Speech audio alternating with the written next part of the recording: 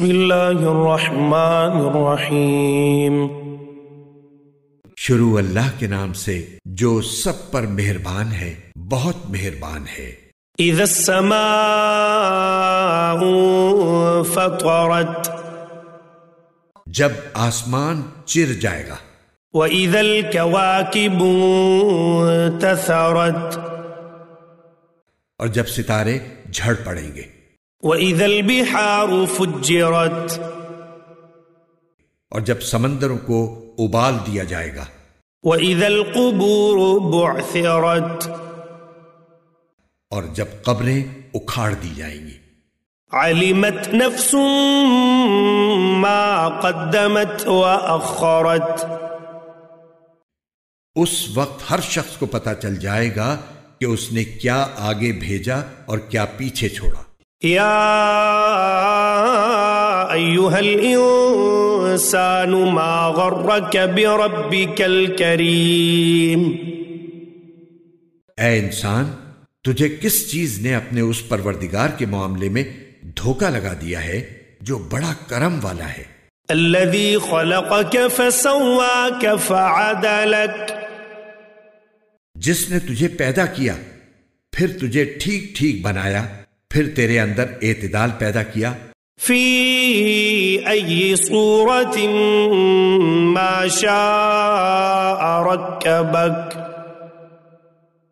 जिस सूरत में चाहा उसने तुझे जोड़कर तैयार किया। कल्ला बल तु कद्दिबून बिद्दीन। हरगिज ऐसा नहीं होना चाहिए लेकिन तुम जजा सजा को झुटलाते हो। इन अलैकुम लहाफिजीन हालाँकि तुम पर कुछ निगरा फरिश्ते मुकर्र हैं। कातिबीन। वो मुअज्जज लिखने वाले। यालमून मा तफअलून। जो तुम्हारे सारे कामों को जानते हैं।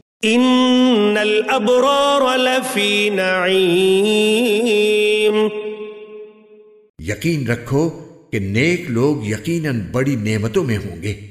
व इन्नल फुज्जार लफी और बदकार लोग ज़रूर दोजख में होंगे। यसलौनहा यौमद्दीन वो उसमें जजा और सजा के दिन दाखिल होंगे। वमा हम अनहा बिगाइबीन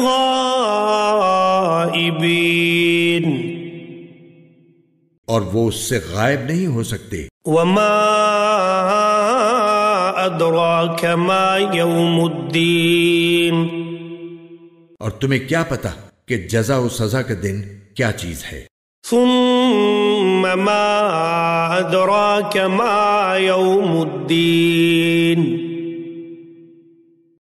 हाँ तुम्हें क्या पता कि जजा और सजा का दिन क्या चीज़ है? यौम ला तमलिकु नफ्सुल्ली शैआ वल अम्रु यौम